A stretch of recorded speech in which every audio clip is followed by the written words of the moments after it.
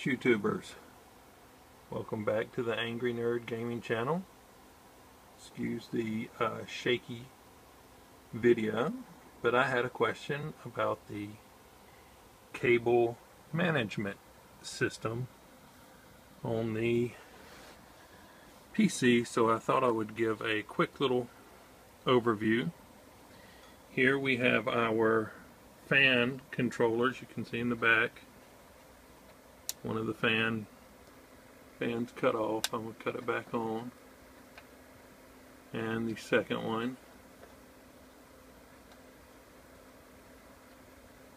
So you can control your fans from the front, your reset button, your power button, and your USB and SS slot there.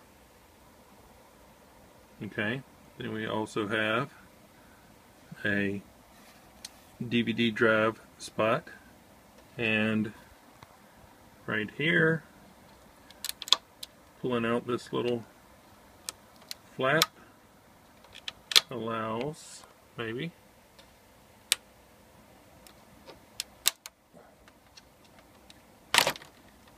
Access to the next drive.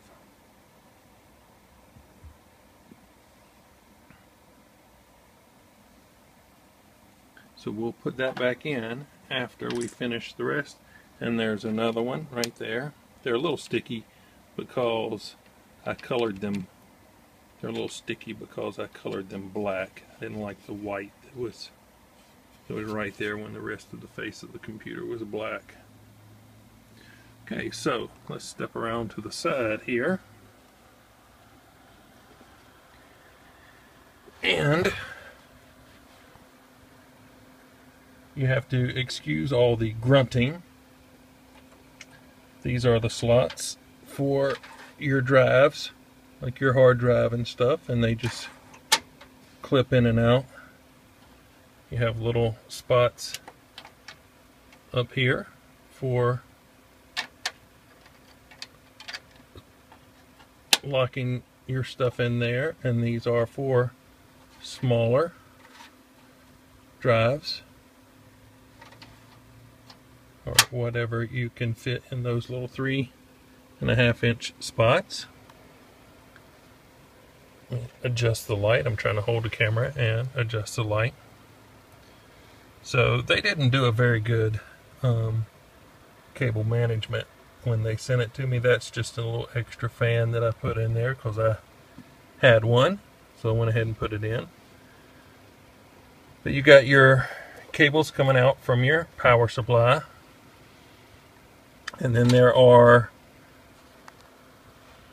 little holes all the way up through the top that you can run the cable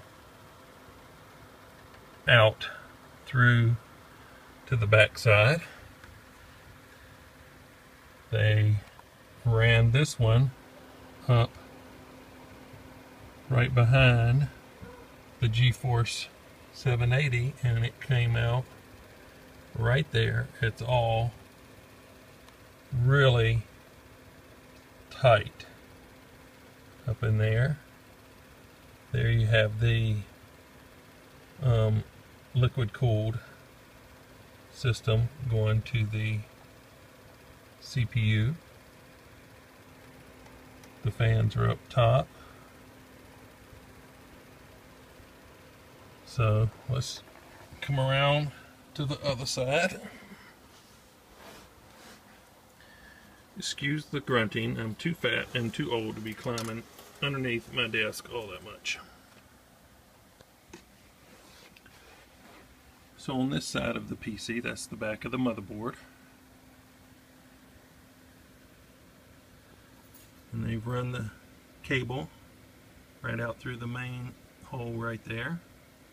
But what they did, they bunched all of the cables up in one huge bunch which you look from the side um, really protrudes quite a bit makes it hard to get that uh, side panel back on. But they could have done a better job by splitting that up and making not making it quite so um, thick by making two spots. But you can see right here where these holes I was talking about on the other side you can run cables through there but they ran everything all together. It's all going right there. This is the back of the uh, smaller bays where you can connect this stuff up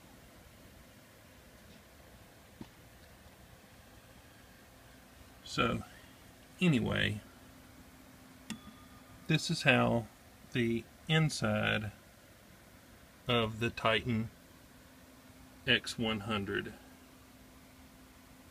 case looks like. And they did a crappy job at cable management. But hey, I was unwilling to do it myself, so that's what I got. Also, well, I can turn it a little bit further around. I didn't show before. You can run, has two little holes up at the top there.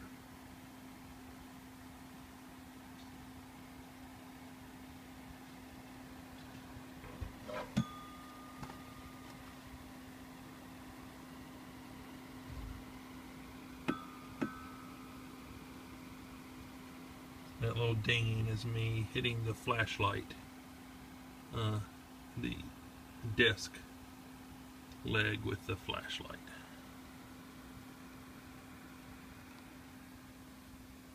So that's the back of it. And then there's one last little thing. And if you know what this is, you can tell me because I don't know what it is. This is on the top of the PC. Can slide that. Now I did drop a. Well, too much light, but there's that in this little compartment. I'm not exactly sure what that is. Maybe it's uh, some kind of SD reader or something like that, but I have really not 100% sure what it is. It's just a little slide compartment that has that right there. So, I hope this answered your question about the cable management system. I believe that there is a, this is a 100, I believe you can get a 200 which might be, it looks the same but it may be a little bit bigger than this one. Um, so, hope this answered and uh, thanks for watching. Nerd out.